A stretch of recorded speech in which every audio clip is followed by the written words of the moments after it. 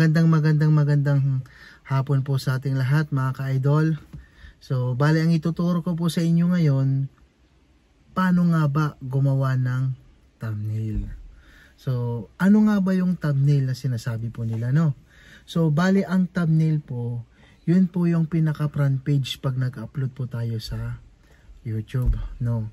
So, ituturo ko po sa inyo kung paano gumawa. Lalong lalo po yung mga katulad ko pong small YouTubers. So, tara, papakita ko po sa inyo. Mga ka-idol, punta tayo sa Google. Ayan eh. I-type po natin ng uh, nee, teka lang, teka lang. Ng free. Ayan. Thumbnail background design. Ayan na lumabas na. So click lang po natin guys mga ka-idol. Yun. So pagka-click po natin dyan, marami pwedeng pagpilian dito. So depende sa atin dito kung anong gusto nating design kahit plain color. Kung anong gusto nyo dyan, pwede yan. Yan, hanap tayo. Yan. Ito, ito, ito, ito. Ito yung pinaka gusto ko. Baba, baba. Ayan, yan, yan, yan. Ayan, aha. Ayan, ayan, ayan. Yan ang pinaka gusto ko. Yan. Teka lang. Oh, up, up. Taas, taas. Ayan, yan. So, ang kailangan dyan, ilong press lang po natin. Long press. Ba nga pintot ko. Long press lang po natin mga ka-idol. Then, save photos.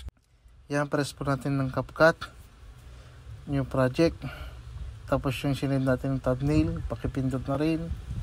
Yan. Pag na po tayo sa thumbnail, size natin ng 16 by 19 pang youtube tayo mga idol. Tapos click natin yan. Yan. So sunod overlay. Lagyan ng CapCut. Pagkalagay ng CapCut i-edit natin customize cut off. Yan para lang magpapagita lagyan po natin ng continue kunting arte ang thumbnail natin. Ka-idol. Ayan. Ang isunod po natin dito, yung play button ng YouTube. Ayan, pipindot. Ganon din ang proseso niyan. So, kailangan ng cut off. Customize cut off. Yan. Ayan. Kung naguhitan nyo na, cut off apply, continue lang. Ganyan. Inuuna ko kasi yan, pang arte-arte lang sa ano likod po ng picture natin yan kasunod po yung ano settings ng ano settings ng youtube. Dinownload ko lang din mga ito mga ka-idol kagaya rin ng thumbnail pag-download nyan yan so ganun din uli. Yan quick press natin. Okay. Yan check. Continue. Kaya lang. Yan, lagay muna natin dito. Hmm. Yan, hilera muna natin dito. Yan. So, at overlay uli. Yan, yung picture natin, hanapin natin. Ito, ito, ito. Yan. Pagka ano po yan, i-click natin uli ng cut off. Tapos, remove background. Yan, pagka remove dyan, cut out stroke natin piliin natin yung puro na kulay blue Ayan. Pwede rin palitan naman po yan eh. Kung gusto natin red, yellow depende pero gusto ko yellow.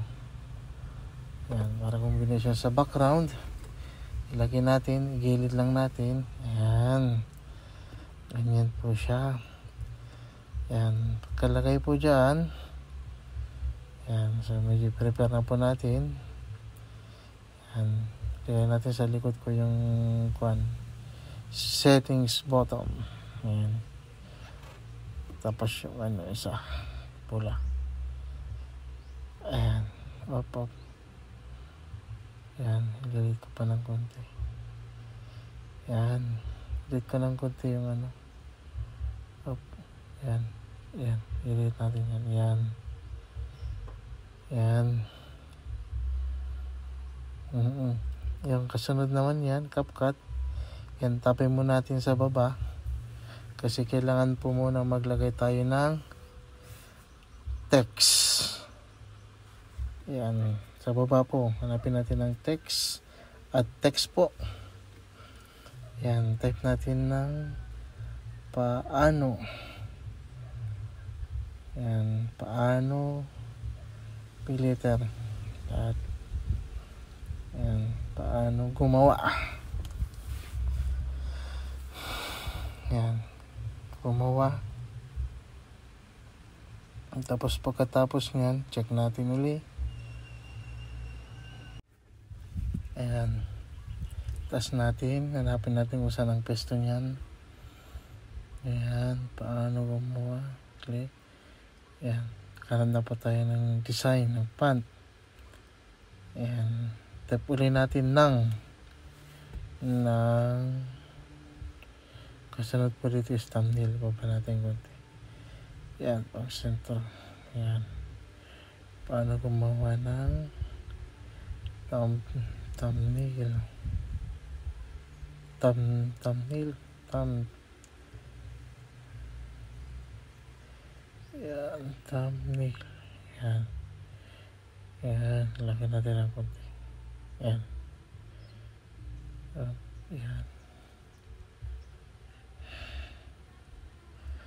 Yan. Yan.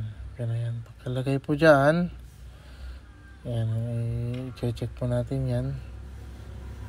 Yan. Sunod, yan, sunod po natin ng CapCut. Lagay natin sa taas. Yan. Ganyan po mga kaidol. Yan, just ko ng kunti. Yan. Yan.